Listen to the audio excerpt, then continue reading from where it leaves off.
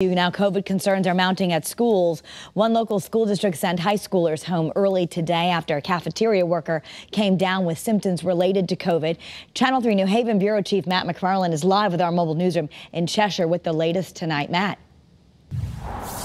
Well, Kara, Cheshire Superintendent says the district is waiting for those test results, but they just wanted to be extra cautious after a member of the food service team here at Cheshire High School started having COVID-like symptoms. Obviously, students, parents, they say they were surprised by the news, but they all say this is the right move.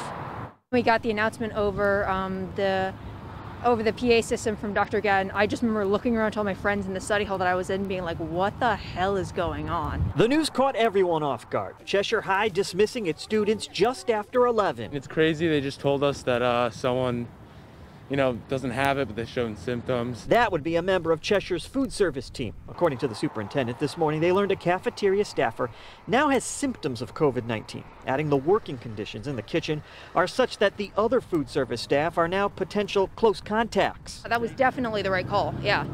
Especially because um, because uh, the lunch staff works in quite close quarters. I personally wouldn't feel safe eating from uh, eating a school lunch today. While Cheshire waits for the test results to come back, districts around the state are having to make changes on the fly as the number of cases in Connecticut, along with the positivity rates, increase. It's kind of expected, I guess. I would have expected it sooner than this, to be quite honest. For now, Cheshire, which is already using a hybrid model, will switch to remote learning for its high schoolers tomorrow.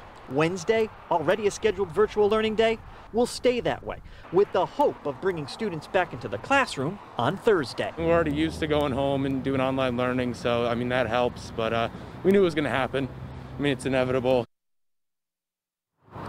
Now, it's not just Cheshire. You know, districts around Connecticut are making changes for this week, also the future as the state sees its number and its cases increase. And of course, we're going to have that part of the story coming up tonight on Eyewitness News at 6. We're live with the mobile newsroom in Cheshire. Matt McFarland, Channel 3, Eyewitness News.